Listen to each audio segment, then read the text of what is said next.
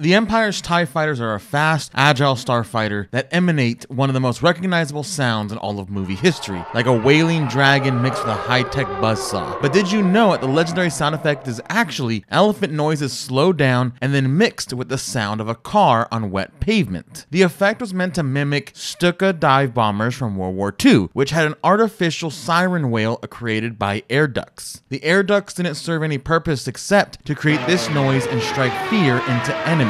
The intent was for the TIE fighter to achieve the same effect along with the menacing appearance. And to me, it's perfect, and I can't imagine the TIE fighter sounding like anything else.